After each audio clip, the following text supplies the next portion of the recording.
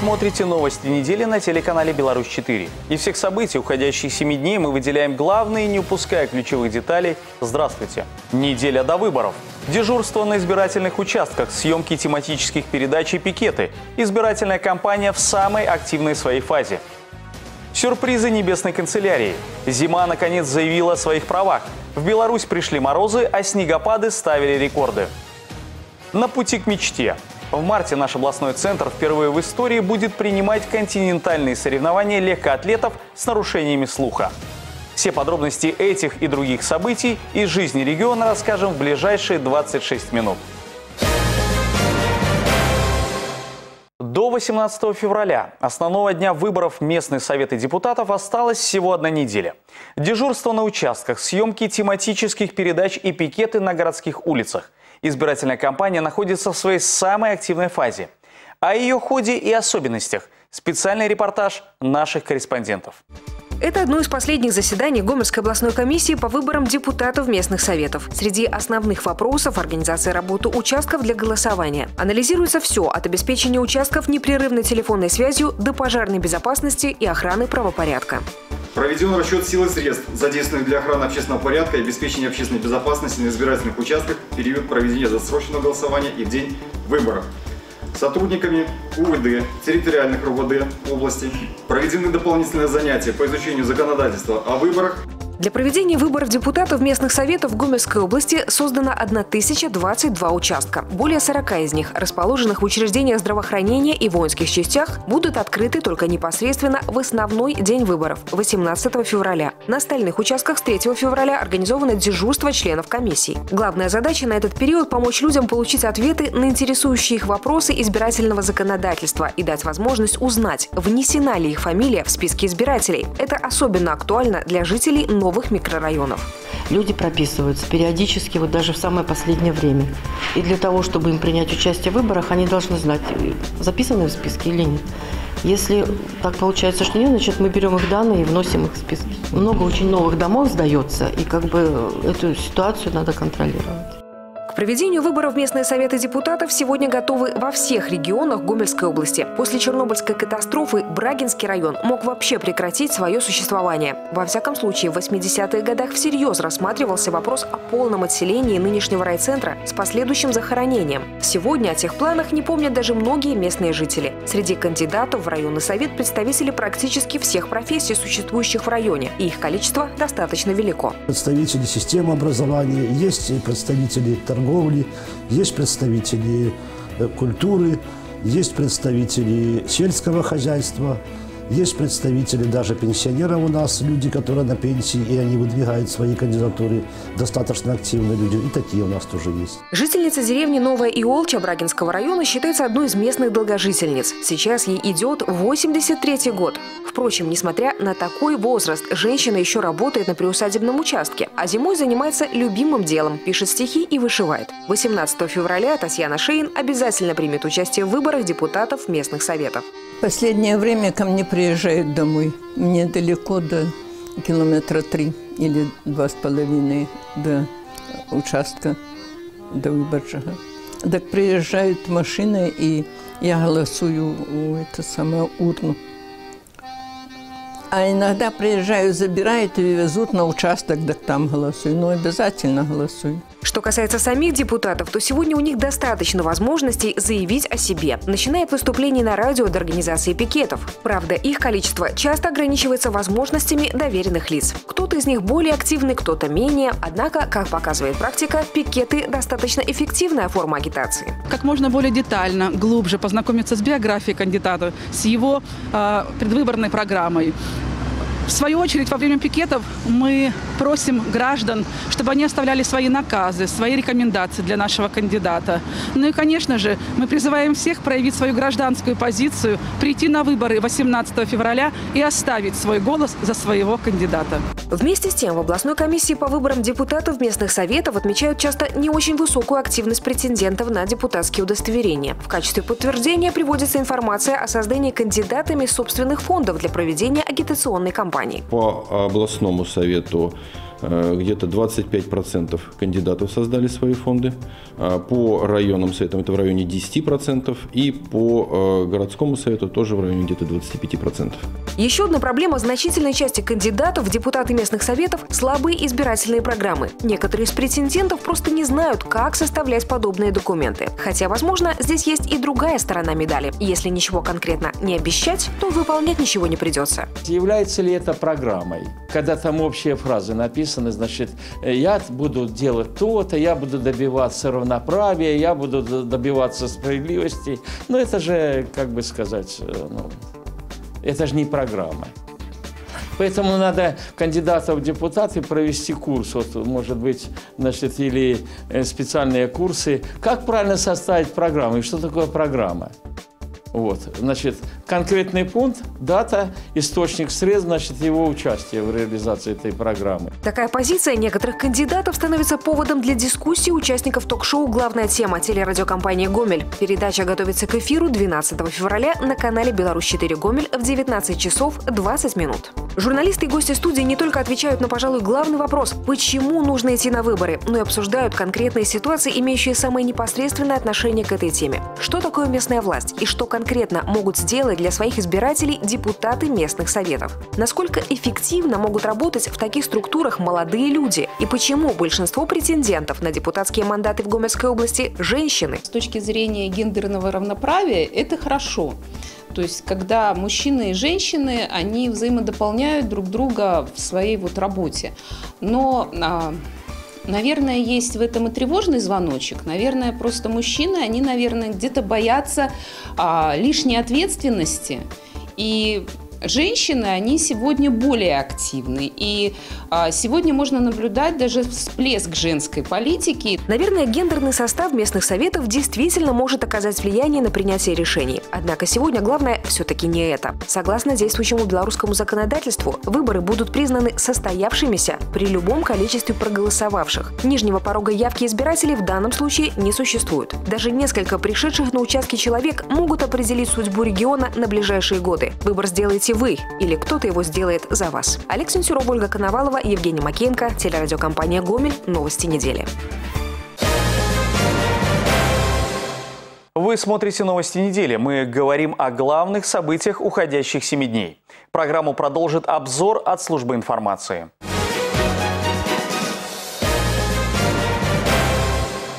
2018 год в Беларуси объявлен годом Малой Родины. Об этом президент Александр Лукашенко заявил на торжественной церемонии вручения государственных наград лучшим работникам аграрной отрасли республики. Президент подчеркнул, что пришло время каждому не только вспомнить о своих корнях, о месте, где осталась частичка души, но и отдать долг этому клочку земли. Церемония вручения государственных наград – возможность отметить заслуги тех, кто работает на земле и в целом всего агропромышленного комплекса. Среди награжденных есть и наши земляки, в частности, за многолетний плодотворный труд, профессионализм, достижение высоких производственных показателей Орден Отечества третьей степени вручен директору сельхозпредприятия Брилева Гомельского района Аркадию Кобрусеву. Благодарностью президента и подарочными сертификатами отмечены заслуги коллективов сельхозпредприятий, в их числе совхозкомбинат «Заря» Мозырского района.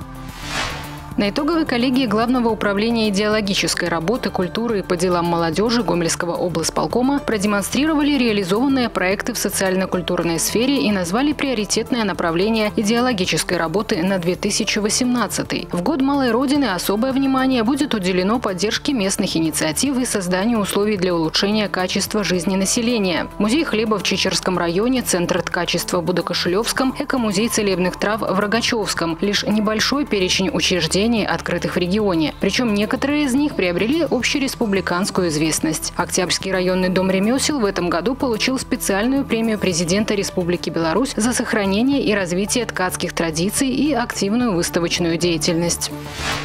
В Гомеле прошел торжественный прием в честь столетия со дня создания комиссии по делам несовершеннолетних. За свою историю комиссия неоднократно меняла название, однако суть работы остается неизменной и сегодня. Это в первую очередь защита детей и проявление внимания со стороны государства к их жизненной ситуации. Сегодня невозможно подсчитать, сколько семей и детских судеб спасли сотрудники комиссии. Знаковым событием в работе с детьми и подростками стал подписанный в ноябре 2006 года декрет президента номер 18 о дополнительных мерах по государственной защите детей в неблагополучных семьях. Кроме того, сегодня в Гомельской области полностью отказались от детских интернатных учреждений общего типа. Несовершеннолетние, попавшие в трудное положение, направляются в опекунские и приемные семьи, а также становятся воспитанниками детских домов семейного типа. По статистике, за последние 10 лет в три раза снизился уровень подростковой преступности, значительно сократилось количество случаев гибели детей.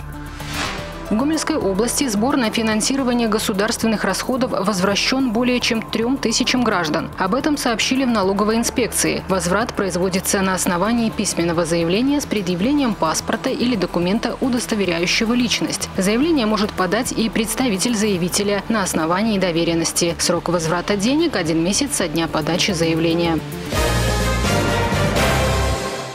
На этой неделе зима наконец заявила о своих правах. Плюсовая температура сменилась крепкими морозами, а снегопады ставили рекорды. В некоторых районах всего за сутки выпала декадная норма снега.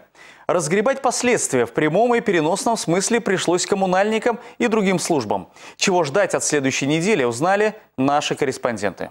Зимой снега не допросишься. Избитая претензия на этой неделе была явно не к небесной канцелярии. Напротив, с количеством осадков она немного переборщила. Проблему в виде больших сугробов подбросила в минувшее воскресенье, а уже в понедельник эта тема напомнила новостные ленты не только региона, но и всей страны. Буквально за сутки на Гомельщине выпало столько снега, сколько по норме должно быть за 10 дней. Рекорды зафиксировали в двух точках – областном центре и Мозыре. Как снег на голову, эта проблема свалилась на коммунальные службы. Ведь до этого на термометрах держался плюс. И это был прекрасный повод расслабиться. Однако технику, как и сани, ЖКХ подготовила еще летом. Снегоуборочные машины выехали на линию оперативно с началом снегопада. В полном составе работали в воскресенье. При этом впервые за эту зиму появилась необходимость привлечь технику сторонних организаций. За неделю израсходовали более 6,5 тысяч тонн песчано-соляной смеси. При этом в усиленном режиме техника организации ЖКХ работает до сих пор. В работах было задействовано 339 единиц техники, частности 37 пескоразбрасывателей, 277 снегоуборочных э, машин, э, в том числе 10 единиц было привлечено сторонних организаций, э, 12 погрузчиков и 13 самосвалов. Утро понедельника было вдвойне недобрым и для сотрудников МЧС, ведь накануне пришлось хорошенько попотеть. Вместе с количеством снега у спасателей прибавилось количество вызовов. Такая же рабочая картина и у энергетиков. Сильные снегопады оставили без электричества 91 населенный пункт Гомельщины. Зафиксировано повреждение 35 воздушных линий электропередачи. Все отключения электроэнергии ликвидированы оперативно. Над этим работали почти полсотни бригад. В целом по Беларуси за 1 февраля снежные сутки электроснабжение нарушалось в 322 населенных пунктах. Свой отпечаток в прямом смысле погода наложила и на некоторые автомобили. Из-за сильных порывов ветра и снегопадов были случаи падения деревьев. В результате повреждены 13 легковых автомобилей. К счастью, пострадавших нет. Работниками МЧС из-за отключения электроэнергии в трех районах области оказывалась помощь передвижными дизель-генераторами. Извлечено из снежных заносов три автобуса и два автомобиля. Из кюветов извлечено 9 автомашин. Также четыре раза выезжали на распиловку упавших деревьев и освобождению проезжей части в Гомельском, Речицком и Мозырском районах. В стороне от стихии не остались и правоохранительные органы. С приходом снегопадов госавтоинспекция ввела план погода. Согласно ему, сотрудники ГАИ перешли на усиленный вариант несения службы. Выехали на патрулирование главных магистралей региона. При обнаружении заносов тут же сообщали коммунальным службам, где нужно расчистить проезжую часть. Пришлось оказывать помощь и водителям, попавшим в трудную ситуацию на дороге. Кто-то оказался заложником замерзшей машины, кого-то и вовсе пришлось вытаскивать из кювета. Только за первые снежные сутки было зафиксировано более 20 фактов оказания такой помощи. Что касается статистики ДТП, то и здесь погода внесла свои коррективы. На этой неделе в сутки в среднем регистрировалось примерно 40 дорожно-транспортных происшествий. При этом в большинстве случаев главной причиной было несоблюдение дистанции скоростного режима. В ГАИ отметили, что самые отчаянные пытались на этой неделе ездить на летней резине. В одних случаях это заканчивалось мелкими ДТП, в других – выписанными штрафами. Только в будние дни на дорогах региона было остановлено 60 таких водителей. Казалось бы, проблема из воздуха и воды. Однако, чтобы противостоять ей, порой нужны большие человеческие ресурсы. К слову, виновником этой проблемы послужил циклон, который пришел на Гомельщину с соседней Украины. По словам словам синоптиков, в первый же день он принес в регион декадное количество осадков, местами полторы декадные нормы. В Гомеле такое количество осадков в последний раз выпадало 70 лет назад. Нетипичным был и температурный режим. Температурный фон был ниже нормы климатической на 2,7 градусов. А в самую холодную ночь 6 февраля морозы усиливались до 12-16 градусов. 8 февраля потеплело в связи с поступлением с территории Украины более теплой и влажной воздушной массы. И температуры воздуха стали уже выше климатической нормы на 2-4 градуса. К слову, начало следующей недели суровым быть не обещает. В понедельник плюс один и без осадков. И в целом в ближайшие 7 дней, за исключением субботы, снегопады не предвидится. Дневные температуры будут колебаться от плюс 2 до минус 2. Ночные от минус 2 до минус 8. Анна Ковалева, Вероника Ворошилина, Дмитрий Котов, Валерий Гапанько. Новости недели. Далее в программе обзор культурных событий. В Гомеле на уходящей неделе состоялся третий международный фестиваль света «Гомель Light Fest». Свое творчество представили коллективы и индивидуальные исполнители из Беларуси, России и Украины. Лучшие номера участников и специально приглашенных гостей можно было увидеть на гала-концерте во Дворце культуры железнодорожников. Также во время проведения международного фестиваля света был организован ряд весьма впечатляющих и в то же время безмерно занимательных мастер-классов. За культурной жизнью региона всю неделю наблюдала Вероника Ворошилина. В картинной галерее Гаврила Ващенко звучали известные эстрадные композиции в исполнении блистательной солистки областной филармонии Елены Гостинской. В Гомельской областной универсальной библиотеке имени Ленина открылась выставка уникальных литературных изданий из фонда редких книг и книжной коллекции князей Паскевичей. А в Центральной городской библиотеке имени Герцена сейчас можно лицезреть живописные произведения талантливого гомельского художника Владимира Евтухова. Прямо сейчас вашему вниманию вниманию калейдоскоп наиболее ярких культурных событий уходящей недели. Его стихов «Пленительная сладость» выставка с таким загадочным названием открылась в Гомельской областной универсальной библиотеке имени Ленина. Экспозиция посвящена 235-летию со дня рождения великого классика русской и зарубежной литературы Василия Андреевича Жуковского. Он один из основоположников романтизма в русской поэзии, переводчик, литературный критик и педагог, автор слов государственного гимна Российской империи «Боже, царя храни» и творческий наставник Александра Сергеевича Пушкина. На выставке представлены уникальные издания из фонда редких книг и книжной коллекции князей Паскевичей. Многие из них вышли еще при жизни Василия Жуковского. А в картинной галерее Гавриила Ващенко любителей музыки эпохи ностальжи собрал концерт «Бабочки на снегу». Он прошел в рамках проекта «Музарт», организованного совместно галереей и Гомельской областной филармонией. В исполнении лауреата международных конкурсов Елены Гостинской звучали известные советские и зарубежные эстрадные композиции. Концертная программа проходила под живой аккомпанемент фортепианной музыки в исполнении Дмитрия Будяну. В галерее звучали лирические композиции, погружающие зрителей в атмосферу зимней прохлады, но вместе с тем окутывающие гостей душевным теплом артистов.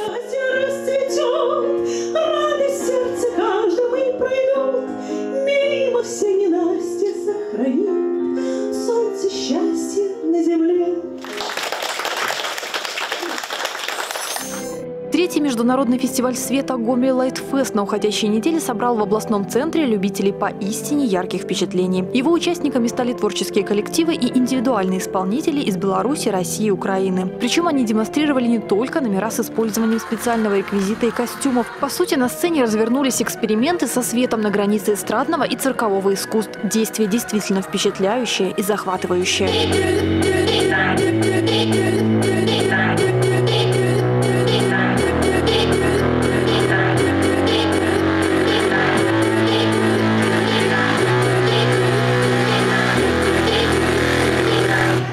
Следующая неделя нам также подарит немало интересного, тем более, что приближается такой романтический праздник – День Святого Валентина. Гомельский областной драматический театр приглашает зрителей на комедию «Отель 18+,» с участием заслуженных артистов России.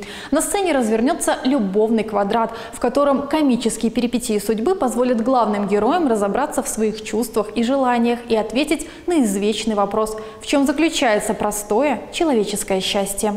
Здесь же в областном драматическом театре в День Святого Валентина состоится концерт «Love Is» с участием музыкантов гомельских городских оркестров. Они подарят зрителям незабываемую романтическую атмосферу и лучшие музыкальные композиции, которые всколыхнут чувства любящих сердец. А во Дворце культуры металлургов в Жлобине на следующей неделе состоится концертная программа «Точь-в-точь о любви». Зрители ждут впечатляющее перевоплощение артистов района в звезд мировой сцены. Обзор наиболее ярких культурных событий для вас подготовили Вероника Ворошилина и Евгений Макеенко специально для программы «Новости недели». Сегодня в Гомеле завершается чемпионат Беларуси по легкой атлетике в закрытом помещении среди спортсменов с нарушениями слуха. Областной центр выбрали для проведения этого турнира не случайно. Чемпионат страны – это генеральная репетиция перед чемпионатом Европы. В конце марта Гомель впервые в истории будет принимать континентальные соревнования легкоатлетов с нарушениями слуха. Гомельчане на домашнем турнире быть в роли статистов абсолютно не намерены. За кого мы будем болеть на чемпионате Европы, узнавал Максим Савин. Гомельчане будут бороться за медали грядущего чемпионата Европы в прыжках в длину, высоту и в тройном прыжке. Заслуженный тренер Беларуси Владимир Кацура свою команду прыгунов характеризует так – сплав опыта и молодости. Под его руководством к домашнему чемпионату Европы готовятся четыре атлета. Маргарита и Роман Гралько в особом представлении не нуждаются. Брат и сестра из Гомеля за годы выступлений собрали внушительную коллекцию наград чемпионатов мира, Европы, а также Дефлимпийских игр. Александр Майстренко и Владлена Зубрякова впервые выступят на чемпионате Европы среди взрослых. При этом новичками на международной арене их не назовешь. Это молодые, это Майтренко Александр и Шупрякова Владлена. Они являли чемпионы Европы третьего юниоры. Они впервые туда попадают в команду сборной Беларуси по легкой атлетике третий ротник. Пусть они попытаются показать хорошие результаты. И это самое главное, что это первый шаг в большом городе. На помощь домашних стен гомельские атлеты надеются. Впервые придется выступать перед родными трибунами на столь масштабном старте. Это одновременно и большая ответственность, и мотиватор. Наперед не загадывают и прогнозов не делают. Обещают одно – бороться до конца. Рад, что соревнования будут проходить в Гомеле. Думаю, что наши стены будут нас защищать. Чемпионат Европы по легкой атлетике среди спортсменов с нарушением слуха будет проходить с 20 по 24 марта. Подготовка к историческому для Гомеля событию идет по плану. Весь комплекс необходимых мероприятий практически выполнен. Чемпионат Беларуси – это последняя репетиция перед континентальным первенством. Практически все силы, которые связаны с подготовкой таких соревнований такого уровня, они задействованы. Но мы хотим, чтобы чемпионат прошел на должном уровне. Здесь уже проведена большая работа. Сейчас за последний месяц, я думаю, все оставшиеся практически вопросы будут решены. Наши лучшие спортсмены очень имеют очень высокий авторитет на международной арене. Поэтому многие представители многих государств просили, говорили, хотели, чтобы именно в Беларуси провели чемпионат Европы. Сейчас, через месяц, это Надеемся, осуществится. Можно не сомневаться, что грядущий чемпионат Европы по легкой атлетике среди сурдоспортсменов станет настоящим праздником. Атлеты будут показывать высокие результаты и радовать красивыми победами. А трибуны Дворца легкой атлетики будут заполнены под завязку. Ведь всем известно, как в Гомеле умеют болеть. Максим Савин, Валерий Гапанько, Михаил Рабков. Новости недели. В Гомельской областной библиотеке имени Ленина сложилась традиция – приглашать для общения с читателями необычных гостей. На уходящей неделе состоялась очередная встреча. На этот раз с четвероногой гостьей – собакой по кличке Майя. Какая роль отводилась четвероногому другу, знает наш корреспондент Светлана Князева. Западносибирская лайка по кличке Майя вместе со своими хозяевами направляется в областную библиотеку имени Ленина. Сотрудники библиотеки пригласили ее для участия в акции «Читаем собаки». Причем в мероприятии Майе отвели главную роль. Майя живет в семье Васильевых вот уже 7 лет. Хозяйка говорит, что несмотря на то, что их собака относится к породе охотничьих, она абсолютно миролюбива. А с появлением в семье ребенка она и вовсе стала образцом э, ласки и терпения. Так что, Майя, я думаю, нам с тобой смело можно отправляться к детям. Традиционная, но по-прежнему необычная акция «Читаем собаки» проводится в отделе литературы на иностранных языках. Питомец семьи Васильевых действительно сумел расположить к себе детей. И с ролью слушателя Майя справилась безукоризненно. Даже книги она выбирала самостоятельно. Айкнов is wet and the sun is hot sunny, but we can have Lots of good fun tweet is funny. Собака, в том-то и прелесть этой акции, она очень благодарна слушателей. Ей совершенно все равно, как ребенок читает. Быстро, медленно, с ошибками, без ошибок. Она слушает, и собака – это своеобразный мотиватор, после которой читать хочется. Вот это самое главное. А правильность приходит потом. Пока одни ребята читали, другие рассматривали книги необычных форм, собирали пазлы, экспериментировали с набором технического творчества. К примеру, проверяя, проводят ли номерки из гардероба электрический ток. После чтения участники акции пообщались с Майей и за ее любовь к книгам пожали ее крепкую лапу. Мне понравилось читать собаки, как она меня слышит, и мне понравилось здесь быть. Майя, она очень дружелюбная. Мне понравилось ей читать. Она очень красивая, милая, спокойная, слушает команды. А еще мне сегодня понравилось играть на конфетном пианино, читать комиксы и смотреть книжки 3D. Отзывы детей говорят сами за себя. Мероприятие удалось. И хоть штат сотрудников собаку взять не смогут, как, например, в библиотеках Финляндии, работники Ленинки надеются, что акция «Читаем собаки» будет иметь продолжение и подарит посетителям еще много положительных эмоций. Светлана Князева, Михаил Рабков. Новости недели. На этом у меня все. Следующее воскресенье, 18 февраля, служба новостей на протяжении всего дня будет информировать о ходе выборов. Не забудьте и вы посетить избирательные участки. До свидания и оставайтесь на Беларусь 4 Гомель.